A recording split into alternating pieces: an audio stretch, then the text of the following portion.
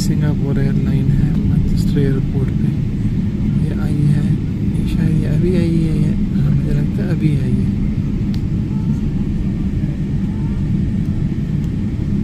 और ये हमारा जहाज़ जो ये रनवे के करीब पहुँच चुके हैं।